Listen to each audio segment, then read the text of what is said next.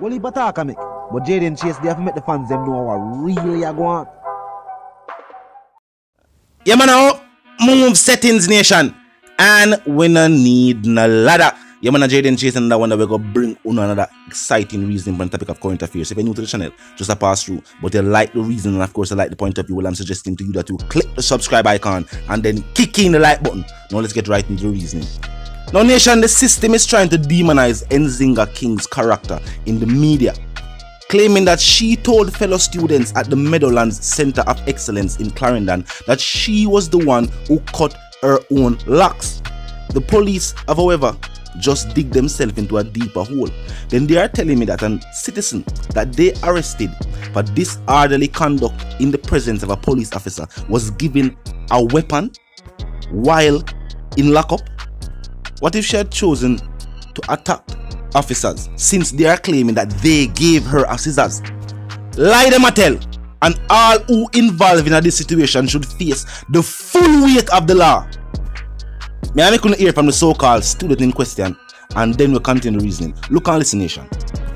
She comes on the stage in her school and she missed her hair and she sorry she cut it. So it's surprising to us when she said it is when she come from the media and I go say and the police cut her hair. Me not understand that.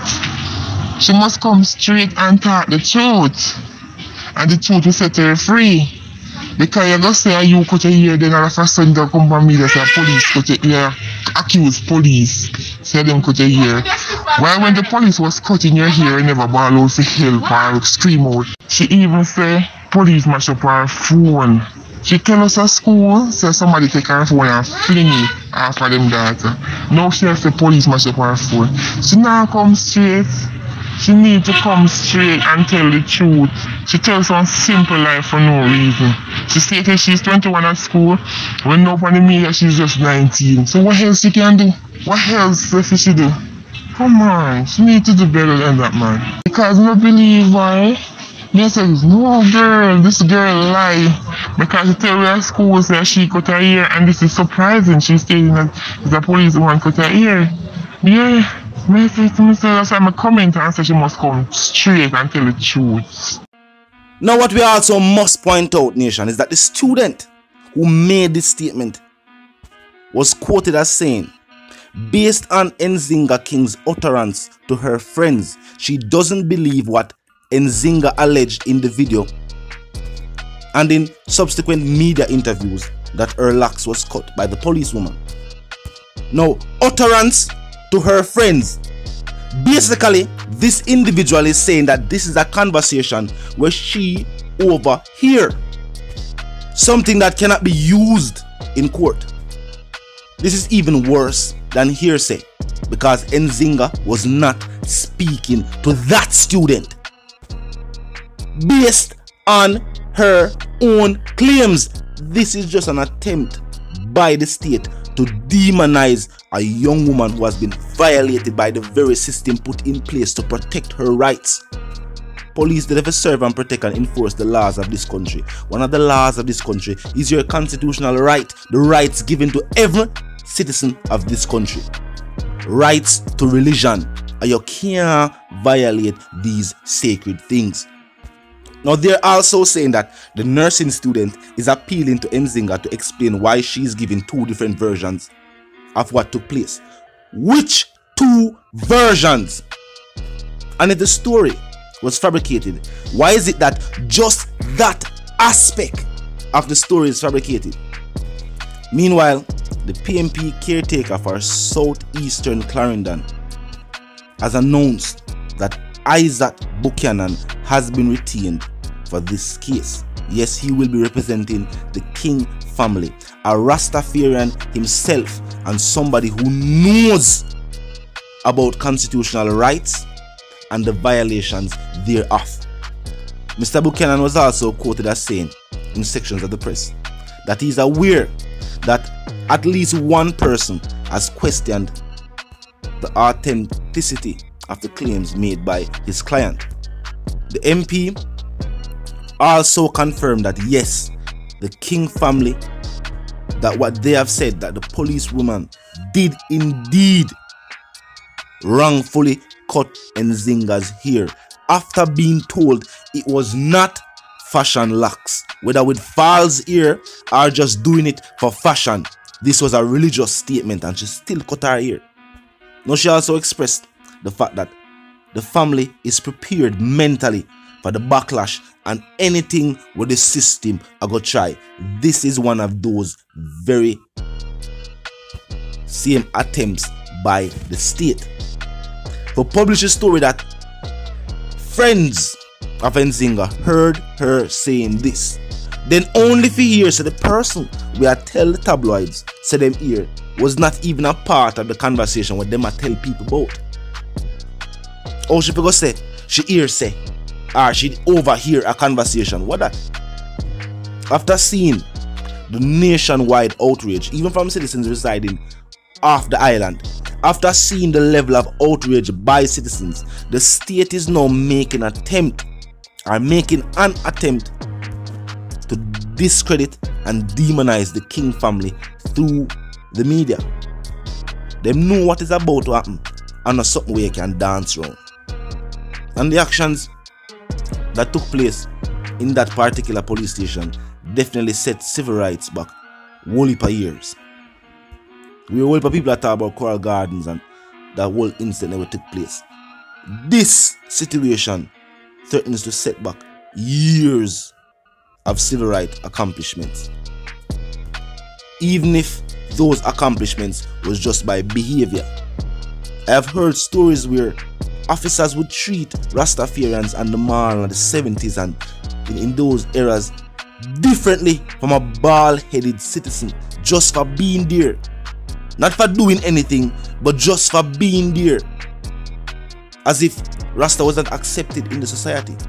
Fast forward a couple more years after reggae artists export Jamaican culture and bring in millions of investment and revenue to the country. You know what I mean? We see Bob face on t-shirts and them say, boy, come on Jamaica, come visit the White Song and hang out with the Rastafarians. And them keep them growler and certain type of events. A reggae artist, them want book feed. Few dancehall artists as well, but you know? But at the same time, there is no respect for the Rastafarian culture or even for reggae music. Culture minister, culture. If culture is the topic, Rasta, that dreadlocks movement there you know, it's the aspect of our culture that we have exported to the wider world.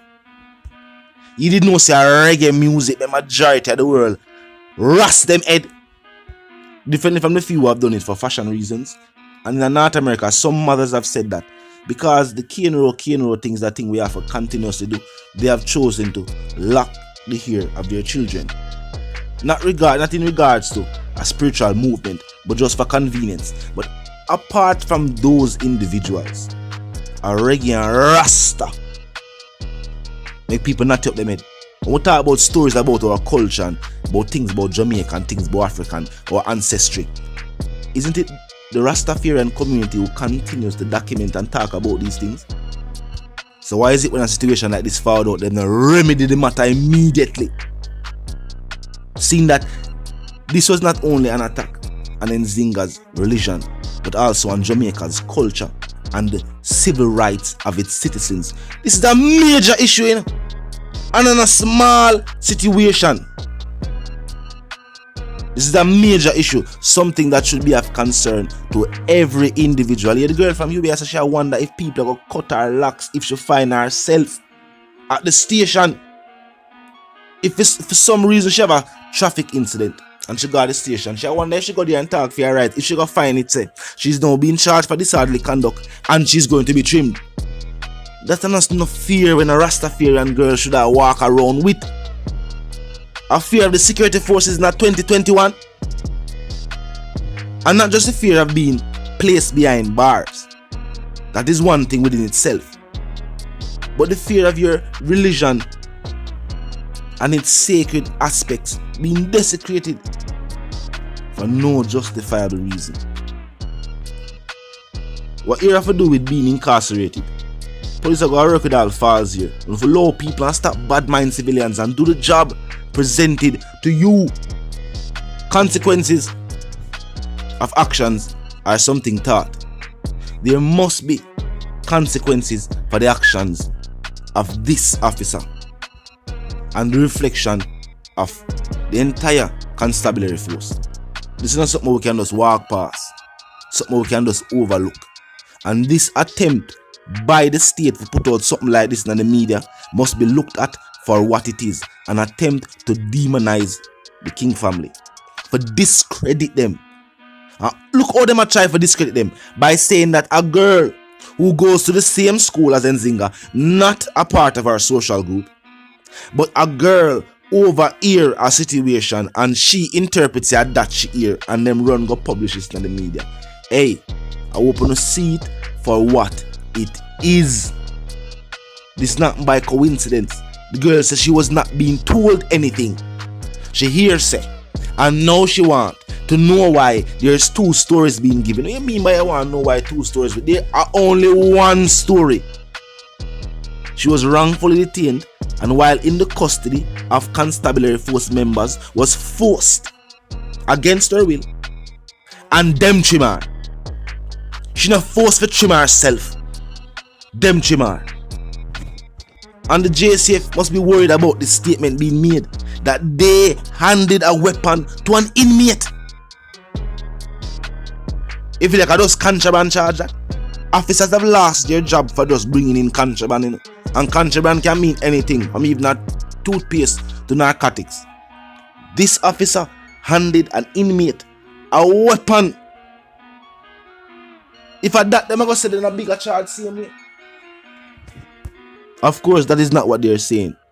Them just a try to put out a story out there for try to change the mindset of the nation seeing that we are fighting our outrage, say Wagwan, we will not stand feet and she need justice. Talk to me in the comment section about where you Vice to the one called Jayden Chase, the dancehall correspondent, the Gaza represented by Simon Mind in the know. If you're new to the channel, new to the movement, just a pass through, but you like the reason and of course you like the point of view, well I'm suggesting to you that you click the subscribe icon and then the bell icon and put it on all. And this is how you know you'll be notified of all fresh content as soon as fresh content is uploaded and made available for you right here upon the platform. The like icon is also in close proximity. Drop a like and bust a share. Tell a friend, tell a friend, tell them sister, them brother, them to check out your channel, check out the reason, join the discussion. The comment section is open 24 7, never lack yet. Just be respectful and mindful of the guidelines. Other than that, drop your thoughts, your comments, and yes, your opinions there. You know the something go. Live, love, and prosper until the reason again.